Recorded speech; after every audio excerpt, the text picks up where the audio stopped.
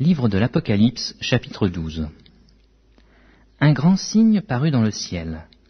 Une femme enveloppée du soleil, la lune sous ses pieds, et une couronne de douze étoiles sur sa tête. Elle était enceinte, et elle criait, étant en travail et dans les douleurs de l'enfantement. Un autre signe parut encore dans le ciel, et voici c'était un grand dragon rouge, ayant sept têtes et dix cornes, et sur ces sept têtes sept diadèmes. Sa queue entraînait le tiers des étoiles du ciel et les jetait sur la terre.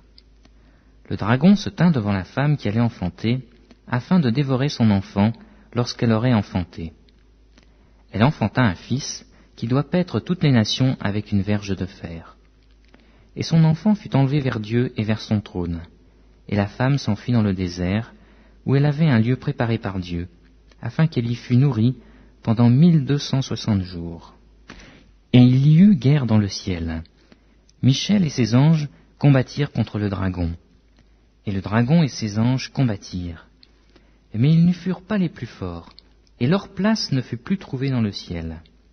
Et il fut précipité, le, grand dragon, le serpent ancien, appelé le diable et Satan, celui qui séduit toute la terre. Il fut précipité sur la terre, et ses anges furent précipités avec lui.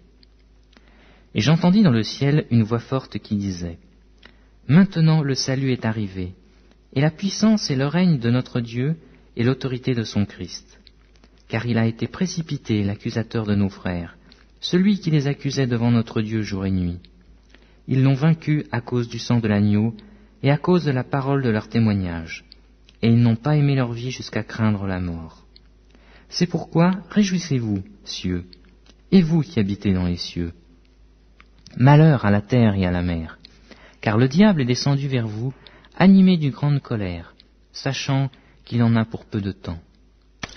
Quand le dragon vit qu'il avait été précipité sur la terre, il poursuivit la femme qui avait enfanté l'enfant mâle.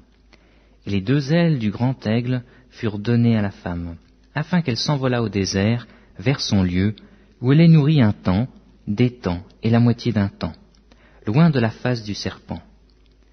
Et de sa bouche, le serpent lança de l'eau comme un fleuve derrière la femme, afin de l'entraîner par le fleuve. Et la terre secourut la femme, et la terre ouvrit sa bouche et engloutit le fleuve que le dragon avait lancé de sa bouche. Et le dragon fut irrité contre la femme, et il s'en alla faire la guerre au reste de sa postérité, à ceux qui gardent les commandements de Dieu et qui ont le témoignage de Jésus-Christ. Et je me tins sur le sable de la mer.